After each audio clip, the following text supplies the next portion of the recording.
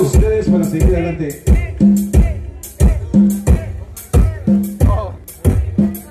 Vamos a ver las melodías viejitas pero bonitas para que sigan bailando la gente de la mesa.